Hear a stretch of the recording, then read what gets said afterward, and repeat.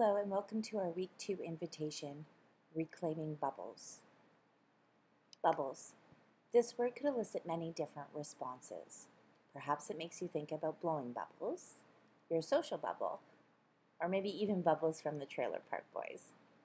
For this directive, you may want to have available one to two full bottles of acrylic paint, three or more tablespoons of dish soap, a separate paper torn out of your sketchbook so as to not ruin your sketchbook, a straw or piece of paper rolled up like a straw, a sponge, either a large low-profile container and or paper cups, water, a plastic tablecloth or something similar, rags or paper towels for cleanup, bubble wrap if you have some, other drawing materials or painting materials, and a child's heart and curiosity.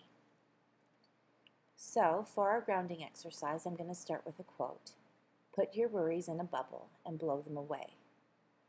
For this exercise, we will start by imagining all of our worries and all of the things that make us stressed and placing them into a bubble. Essentially, what you're going to do is take a deep breath in, Hold there for a couple seconds and then exhale out as if you're blowing bubbles.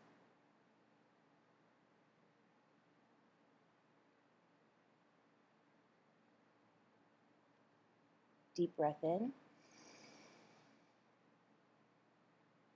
Exhale out as if you're blowing bubbles. And watch your worries float away.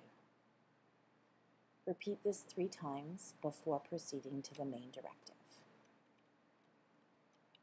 So for our main invitation, I must warn you, it might get messy, but have some fun with it.